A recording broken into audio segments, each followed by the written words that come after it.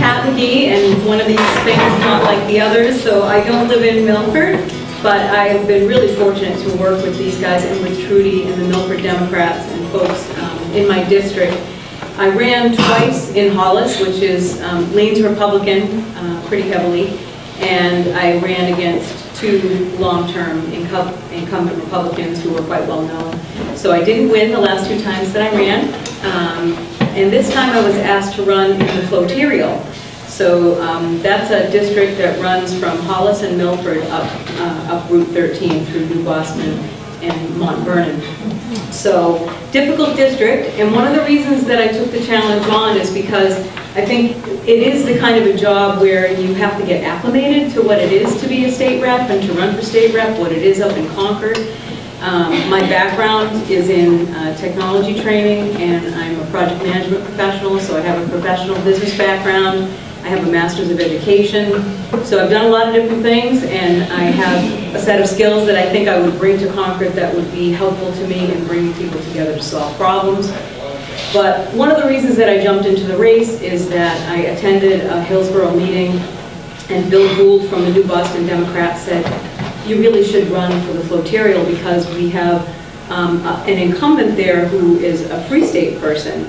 And I had heard about the Free Staters when I ran the first time, and and a lot of people really don't know what that means. But um, when we talk about Democrats and Republicans up in the House, we have more than that to face in the House at this point, because um, the Free State movement started outside the state, and they chose the state, and they're coming here to take over the state so that they can run an agenda that is for them and not really for us. And so I'm running a campaign, not, certainly not a smear campaign, I mean, I'm running on my own merits, but I think that even Republican voters in the district should be aware that um, they're voting for someone whose values might be a little right to even their values. Um, And so I am trying to get the word out, and um, in doing that, I asked the New Hampshire Democratic Party and the Committee to Elect House Democrats Chair, you know, to give me an idea of how I can beat this guy. So some of you may have received a mailer in the mail. Did you- Raising hand, did you get my mailer? Oh, good, even you got it.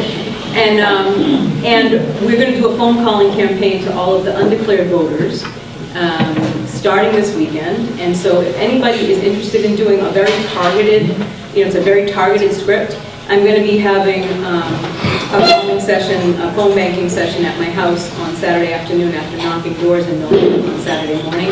And Steve Marchand, who ran for governor, is going to come and, and help with that. He, he actually offered to help with my campaign.